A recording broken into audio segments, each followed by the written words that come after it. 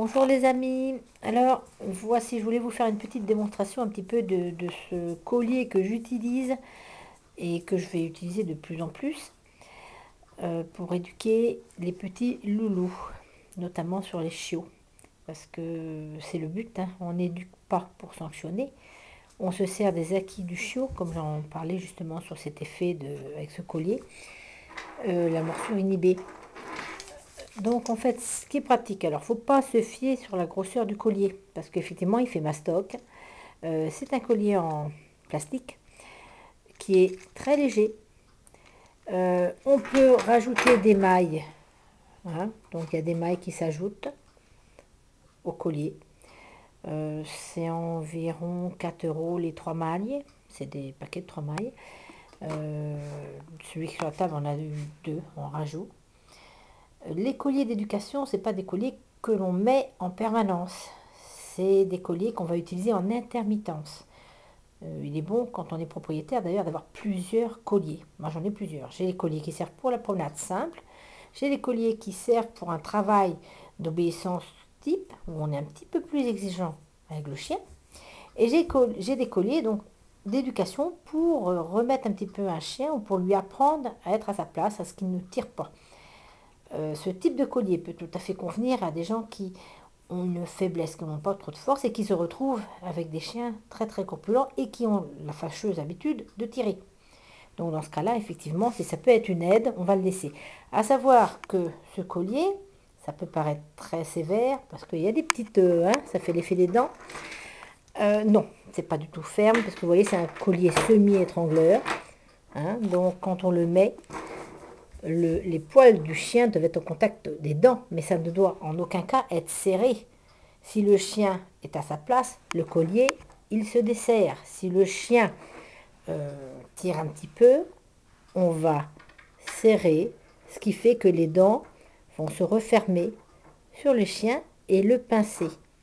Avec ce style de collier, on ne laisse pas jamais le collier serré. Ça ne servirait à rien. On n'est pas là pour étrangler le chien ou le faire souffrir. C'est pas ça du tout. Il faut faire l'effet de la dentition de la maman. Quand la maman se fâche, quand une maman se fâche avec ses chiots, elle, poum, elle donne des coups de dents.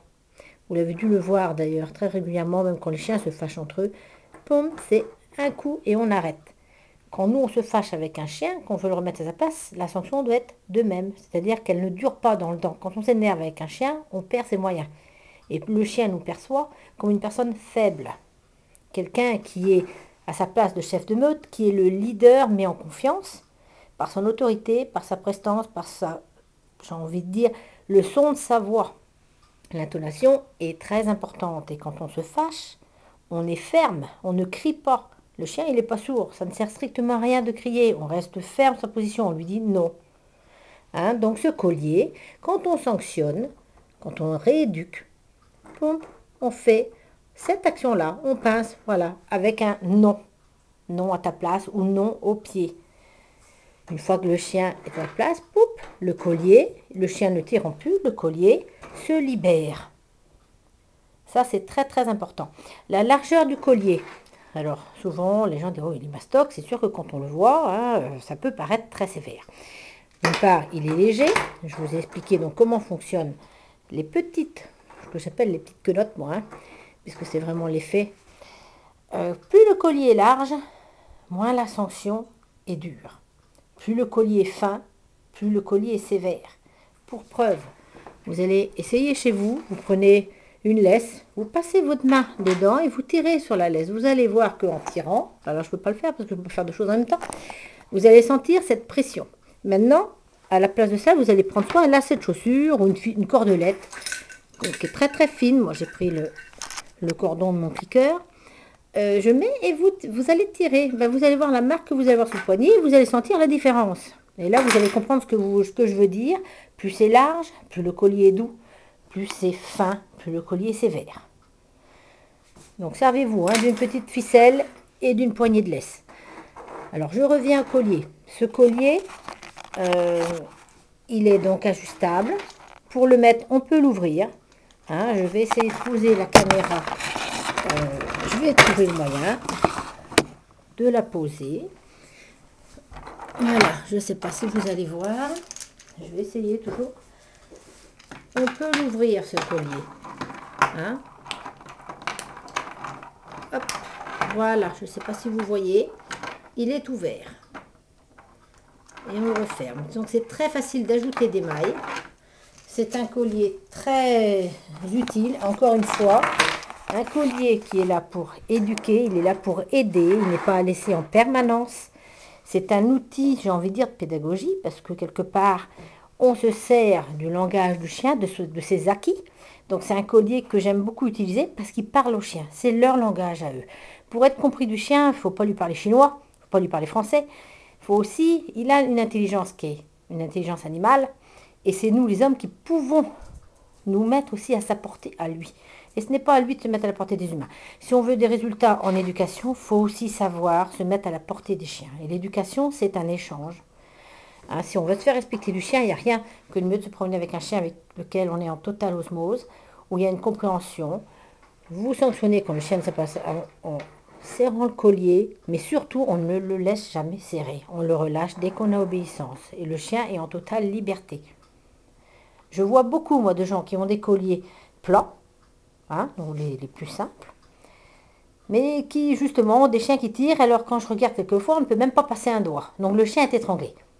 Et je leur dis, ben non, il faut mieux à la rigueur une petite chaînette, qui, quand le chien, il se sanctionne tout seul. Un chien qui tire, il, il est serré par le collier. Il revient à sa place, le collier se dessert tout seul.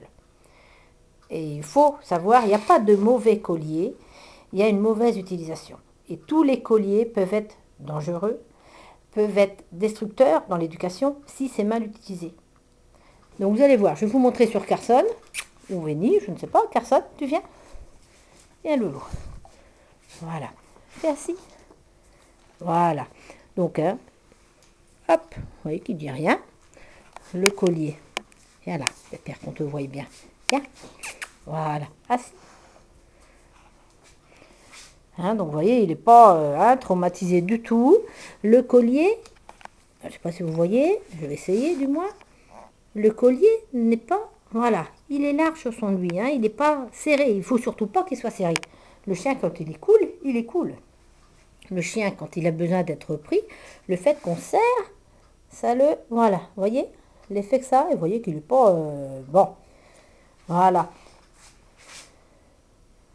Ce n'est pas un collier de sanction, c'est un collier d'apprentissage. Voilà.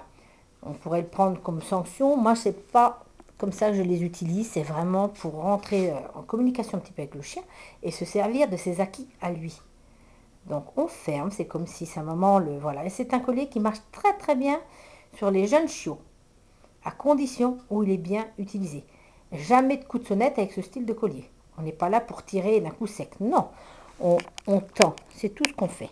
On tend, on dit au pied au chien, il revient, on relâche. Alors bien sûr, je ne vais pas le faire à personne. On est dans la maison, il ne comprendrait pas. On ne fait pas d'obéissance, on laisse notre maison. Mais voilà, à l'extérieur, voilà, ça permet euh, d'avoir des chiens qui, viennent gentiment, ça se passe tout en douceur, friandise, euh, voilà, les boudins de récompense pour récompenser dès que le chien apparaît, hein. et c'est un collier qu'il ne faut pas utiliser euh, tout le temps, tout le temps, tout le temps, non, on le met de temps en temps au chien pour lui apprendre, même il est, ce que je fais moi, c'est que les chiens ont deux colliers, c'est-à-dire qu'ils ont le collier de tous les jours, et ils ont ce collier à aucun moment, une fois que le chien comprend un petit peu comment fonctionne le collier, qu'il a progressé, je mets la laisse sur le collier tous les jours.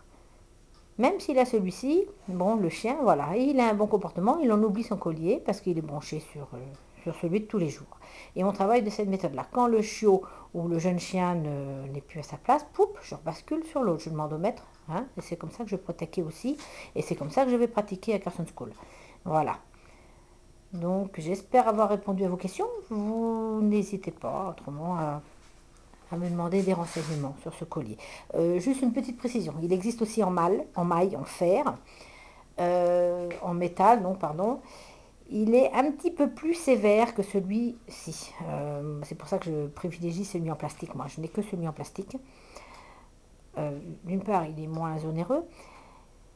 Peut-être moins résistant dans le temps, mais encore une fois, euh, je ne laisse pas ce collier en permanence. C'est un collier d'apprentissage. Il veut bien dire ce que, hein, voilà, de la façon dont je l'utilise, vous comprenez. C'est pas un collier que je laisse en permanence. C'est un collier qui, qui moi, ça fait, ben, ça va faire 5 ans que je l'ai, puisque je l'ai utilisé quand personne était chiot. Euh, il n'est pas du tout esquinté. Il l'a eu de temps vous voyez qu'il n'est pas traumatisé de l'avoir sur le coup, hein, il n'y a aucun souci. Euh, mais parce que voilà, il a été utilisé d'une certaine façon.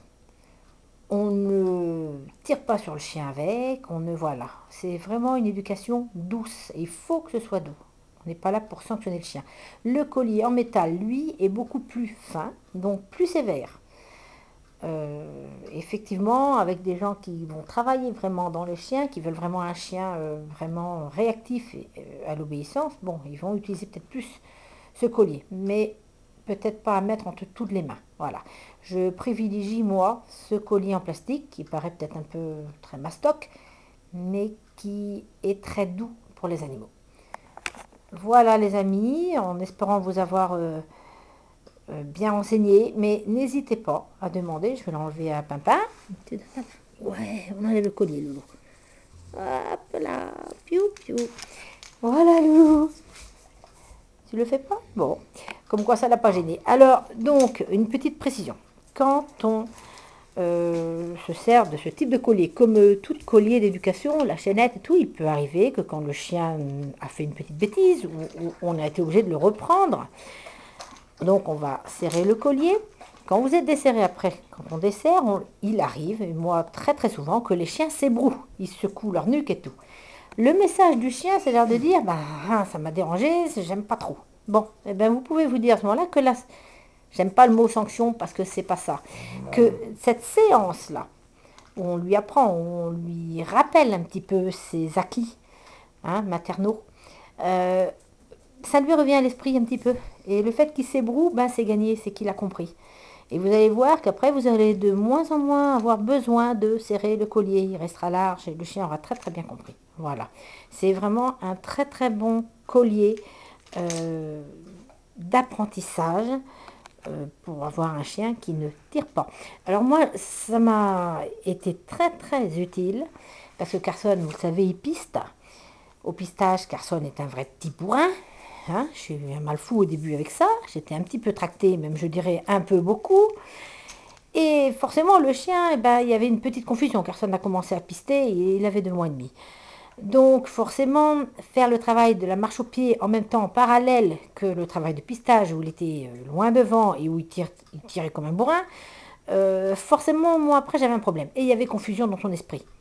C'est-à-dire que lui, harnais ou, collier, euh, allez hop, moi je tire. Bon, alors ce collier a été un tremplin très très efficace pour lui apprendre que ben au harnais, en pistage, ok, il prend sa place, il va devant, il tire, il prend des initiatives, mais euh, quand il est au collier, euh, les initiatives de la direction et de l'allure, c'est moi qui les prends et c'est pas lui.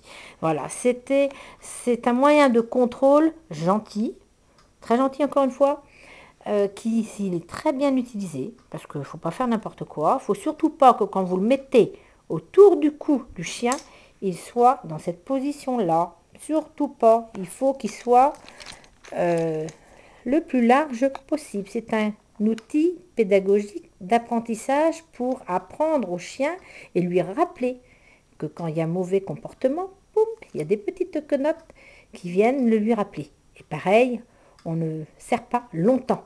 On sert, le chien compris, on relâche, on félicite parce qu'il se comporte bien. Hein, on ne peut être exigeante avec un chien à partir du moment où on sait l'en féliciter dès qu'il fait quelque chose de bien. On joue avec, friandise, tout ça c'est très très important. Je suis exigeante avec mes chiens au travail. Par contre, ils ont tout derrière pour qu'ils soient bien. Un bon dodo, une bonne nourriture, un bon suivi vétérinaire et euh, surtout, euh, voilà, une certaine pédagogie, une patience et beaucoup d'amour, bien sûr. Mais je suis exigeante en retour. Je leur demande d'être, quand on est au boulot, on est au boulot. Je leur demande le respect. Que ce soit la petite Vénie qui dort ou que ce soit Carson. Voilà, et c'est pareil, et ce sera pareil pour les élèves, parce que après on vit en osmose avec les chiens, et c'est tellement plaisant. Voilà, alors ce coup-ci je vous laisse, je vous souhaite euh, à tous une bonne après-midi. Au revoir les amis